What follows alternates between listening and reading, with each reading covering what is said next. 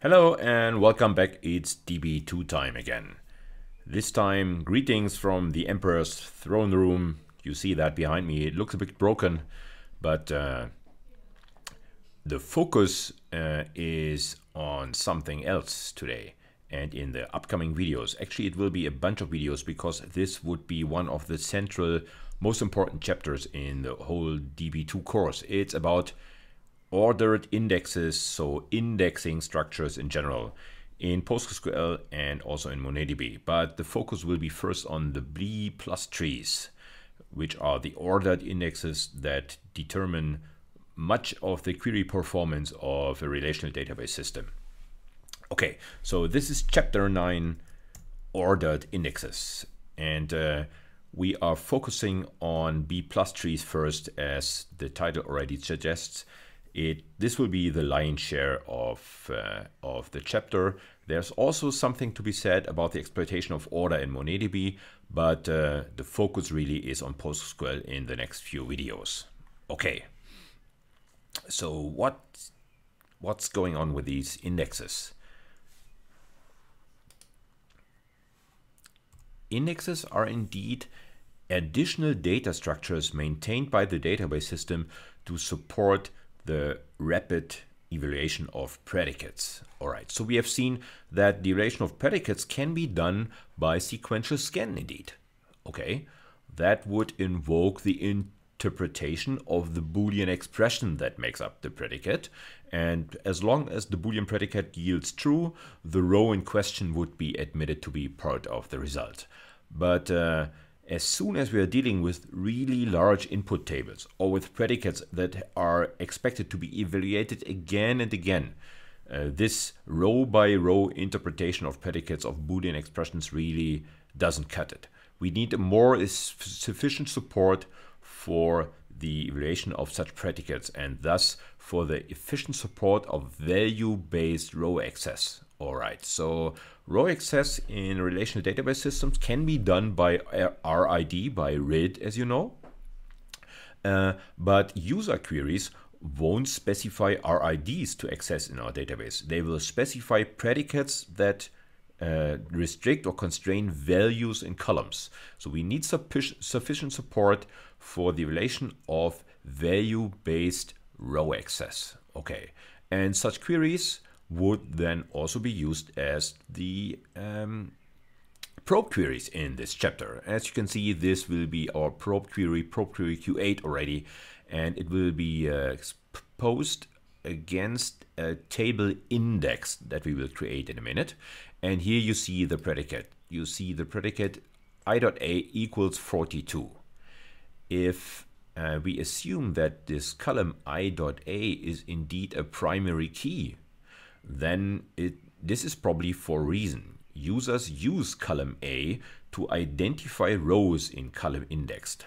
Who knows how many rows will be in, in table in in uh, in table index? I'm sorry. Who knows how many rows will be in table index? Millions maybe. But column R will be unique. Column column A will be used to identify individual rows in this in this table and the system can expect a query workload, a typical mix of queries that is often containing predicates like this. I want to identify particular rows in my index table. I will use these value-based identifications, these value-based predicates to identify these rows. We better have efficient support in the database system to support just this type of particular predicate and indexes have been constructed that can support such queries. There's multiple type of indexes in relational database systems uh, implemented today. Hash indexes, which can essentially uh, uh, support uh, uh, um, equality uh, comparisons like the one I've underlined here. But um, there's another type of index which is super prevalent and very versatile, very flexible in the type of predicates and it uh, it can support and that's the B tree indexes. And these will be in focus in this course. We will not talk deeply about hash index in this course. This is just the focus that we have uh, chosen to have. Um, this doesn't mean that hash indexes are not present in PostgreSQL uh, or in MongoDB for that matter, uh, please look up uh, documentation about PostgreSQL to also learn uh, about hash indexes. Our focus will be the B plus tree indexes, which can support this type of predicate. And as you can see, a whole family of predicates uh, that is uh, much richer than only just equality comparisons. All right, so let's see how we can get index support for such predicates. All right, so uh, in PostgreSQL and in most database systems, it actually would suffice to just create that index table. Okay, so you see it's one of our playground three column tables, but the focus will be on column A for now. Okay, column A has been designated as the primary key, as a column that carries unique not null values that we can use to identify individual rows in table indexed. And because this is uh, the chosen column in a sense, the DBMS will expect predicates of this kind. Because this is to be expected. Uh, the DBMS will automatically in the background create the table as well as an index structure on this particular column A, a data structure that is really married, that is really tightly associated with table indexed. All right. Of course, uh, once we uh, insert row into table index or maybe delete rows into table index, that associate data structure, the index structure on column A, has to be maintained as well. This will happen automatically for us. We don't have to maintain the index uh, explicitly or manually. This is performed by the database system uh, in the background automatically for us. Okay. Um, the index that is uh, that is automatically created could also be created by us explicitly using this statement here all right? So you can see uh, this is a create index statement that is indeed associated with the indexed table okay? We also specify the column that we want to index all right and we also specify that internally B plus trees are the index structure that are that is to be used all right so at this particular point, we could opt for other internal uh, uh, implementations of index structures and uh, hash would be one such option. There are actually more options in PostgreSQL. Uh, interesting options indeed. Please have a look at them in the, in the uh, associate PostgreSQL manuals. You will find uh, a myriad of interesting pointers and, and insights into indexing. But uh, we will focus on the B tree, B plus tree indexing structure in, uh, in PostgreSQL. All right. You see, just like tables, indexes are named structures, are named entities, uh, and that makes sense because uh, there will be other instructions later, uh, other SQL uh, commands that will refer to these indexes by name. So we better give them a name. And uh, in this course, uh, as also mentioned in the footnote on the slide, we will follow the convention to just use the table name and underscore and then the column name on which this particular index structure is being built. All right, so each column or maybe a group of columns, we will come to that in the next chapter, is uh, uh, can be can be uh, uh, the input to index construction individually. So there is not one index for what for a table, but there can be many indexes, uh, all particularly defined to support predicates on a particular column or group of columns. Uh, in this chapter, we will talk about indexes over single columns only, and we will add multi-column indexes into the discussion when we enter the next chapter. Okay. Um, whenever whenever um, the system now is evaluating queries over the table indexed, it will also be aware that there is this supporting index structure that can speed up, really rapidly speed up the evaluation of predicates on column A.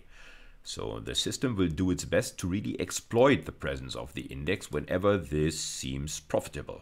So again, in SQL queries, we will not we will not explicitly refer to this indexed A index structure, but the system will do its best to pick it up automatically whenever it thinks that uh, query evaluation can really benefit. Query evaluation speed can benefit from exploiting the index. So this is the point where we really benefit from the index. And uh, we hope to see really significant speed ups. And we can see them immediately when we switch over to the editor in a minute. Of course, there is the flip side of things. Whenever we update our index table, the associated data structure, the indexed underscore a index, has to be maintained as well.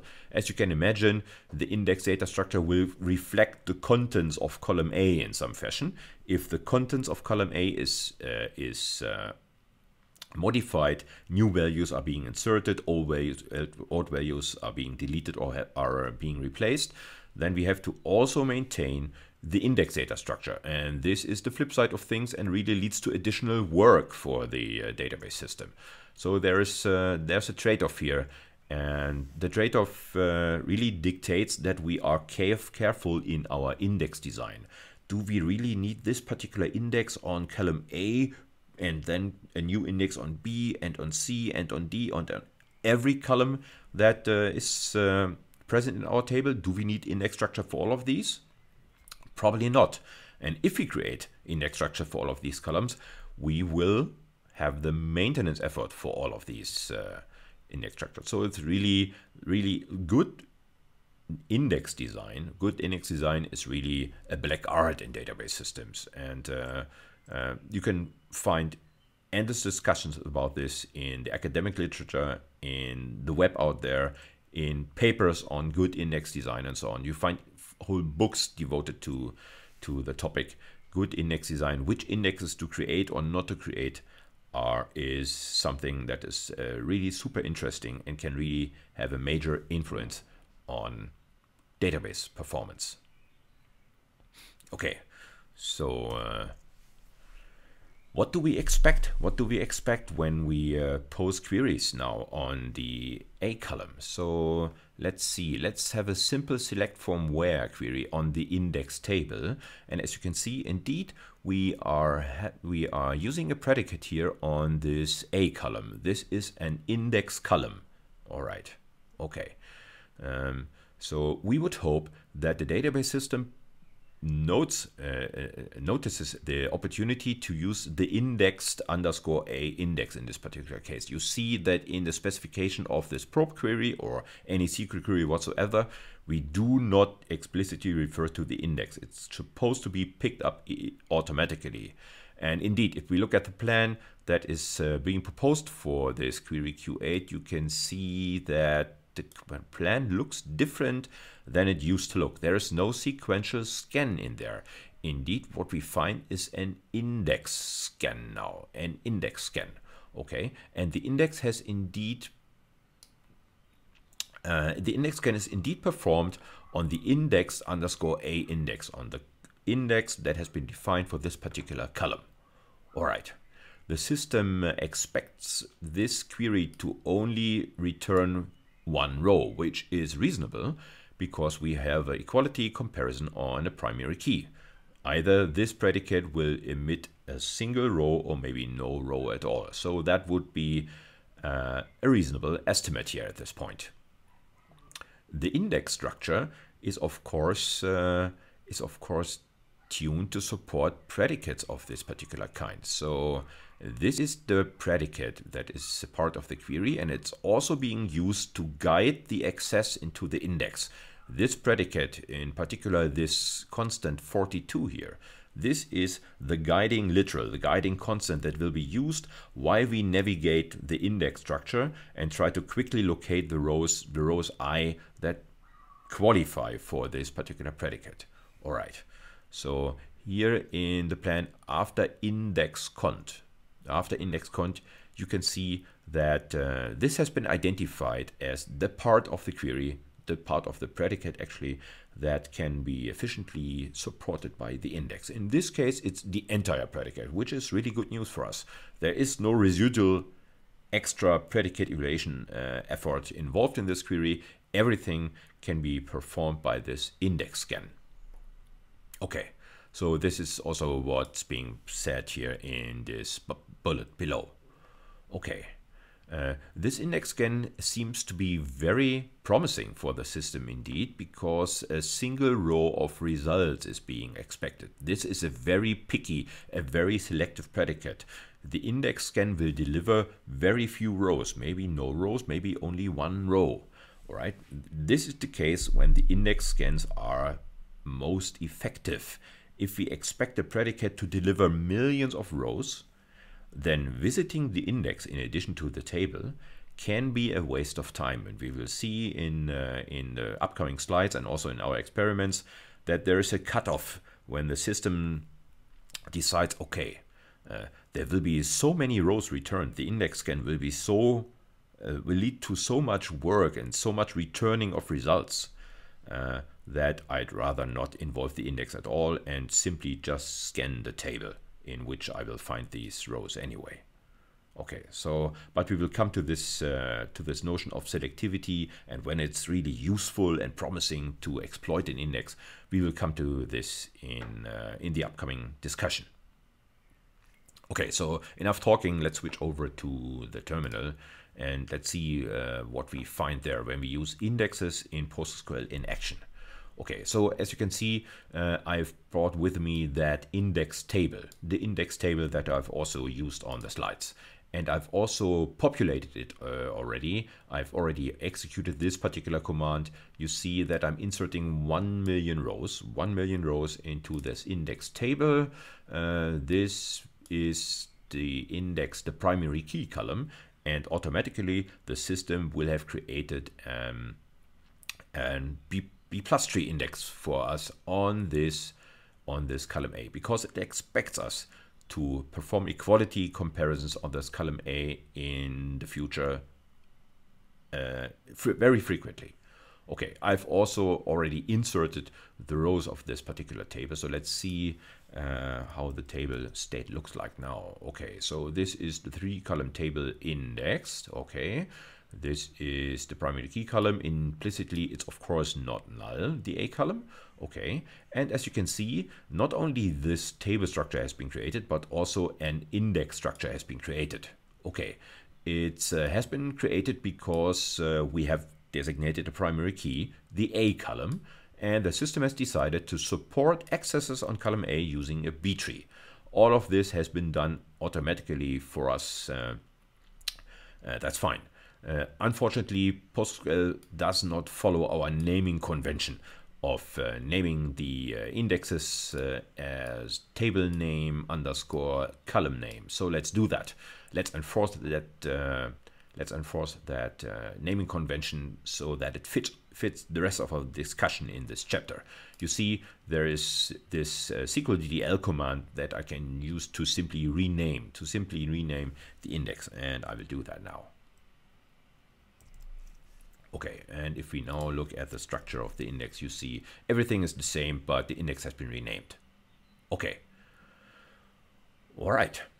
So uh, indexes are supporting data structures. They are data structures actually like tables. They are also made persistent by the database system. So they outlive one session of our database system. If we shut down the system and then power it up again, the index will be there just as well as the table will be there. Okay.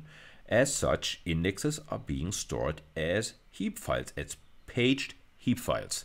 If we look into the data directory of our PostgreSQL instance, in the Scratch database, the Scratch database I'm using all the time, there will of course be a heap file for the indexed data table, but there will be also a heap file for the index underscore a index. All right. Also, the indexes are maintained in paged heap files. Okay, um, we can even look at these uh, uh, look at the information about these uh, heap files using the the system catalog of PostgreSQL like we've done so many times before. Okay, so you see that I'm using this predicate on the PG class database catalog table to look up information about heap files whose names start with indexed. This is the case for the indexed um, for the indexed um, uh, table, but also for our index structure. Okay, so let's do that. Okay, indeed, two rows are returned. Uh, there is something called the index table and also the index underscore a index. And that this is a table we can see if we look at the rel kind column here, which uh, designates this entry as a relation, R relation, and this as an I or index. Okay, and you can see they are indeed living in separate heap files. These are the file nodes. We could look them up uh, in the in the data directory of PostgreSQL, and we will also look at the heap pages, the structure, the data that we find in the, on the heap pages of this index. It looks quite a bit different than the data tables, as you can imagine. All right. What we can also see is that the index table occupies almost 10,000 pages and that the index data, the index structure, the B tree, is quite a bit smaller.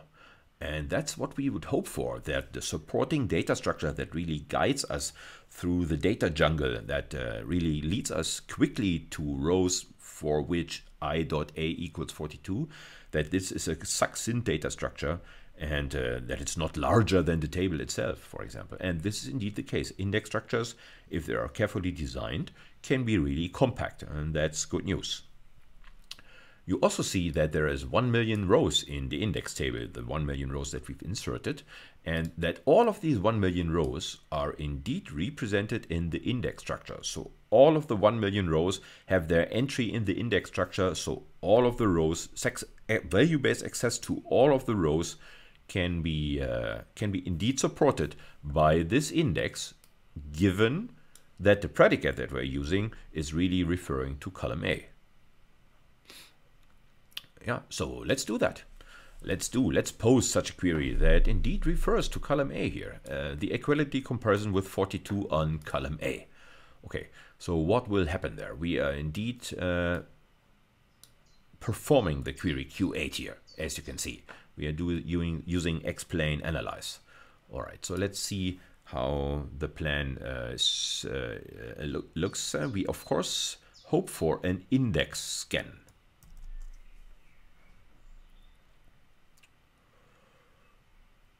Okay, so there we have it. Uh, an index scan, an index scan has been used. Automatically, the presence of the indexed underscore a index has been picked up, has been Uh, noticed by the system and has been exploited, you see that the system indeed expected a single row to be returned and it, indeed a single row has been found while the query was executed. This is the predicate that was used to guide the search in the index and exactly how that search will be performed is the topic of upcoming videos. Okay, so then the execution time of the entire thing was really quick. You see that this is a really very quick uh, fraction of a millisecond has been uh, has been used to locate this one particular row, this particular one particular row with i.a equals 42. Okay, so thank you IndexScan for this rapid query relation. And it really makes a difference. It really makes a stark difference. Uh, let's temporarily disable index support so let's pretend that there is no indexed underscore a B tree index present. Uh, does that mean we cannot evaluate this query? No, it doesn't mean that. It does. That's not meant at all. We can still evaluate this query, but we will have to use a sequential scan over the index table. And uh, for each row in that sequential scan, we would have to initiate Boolean expression evaluation to evaluate this particular predicate to detect whether i.a is indeed 42 and then emit the row or maybe discard it. So that should be way more effort, way more effort than using a dedicated guiding structure, the index structure that would immediately lead us to the matching rows. So let's do that. Uh, so just that we can appreciate the value of index scan. So let's uh, temporarily switch off all forms of index scanning inside uh, PostgreSQL, you see that I'm not only uh, disabling the index scan, but also its its brother operator, the bitmap scan. We will we will meet bitmap scan in a few videos. Okay, so these have been turned off now. All that's left uh, as an execution option for the system now is sequential scan. Okay, so let's perform the same query again using a sequential scan. All right. Okay, works. A sequential scan has been performed on the index table. You see no mention of the index underscore a B tree index. Uh, we have just not used it. It's present in the system, but we uh, we uh, disabled uh, its, exploit, its exploitation. Indeed, uh, the sequential scan now has used the predicate evaluation, the expression evaluation, the interpreted expression evaluation to evaluate this filter predicate. Almost all of the rows couldn't qualify. And all of this took almost 500 milliseconds. Please compare this execution time to this execution time. That's a factor of 10,000. I knew which option I would choose. All right, so let's quickly re-enable index scan support in the system. Because of course we want to benefit from this. This is awesome. So uh, indexes deserve uh, really a closer look in this course. And that's what we will uh, do in the upcoming videos. I hope you will be around uh, to have a closer look at index internals. Uh, see you then. Bye.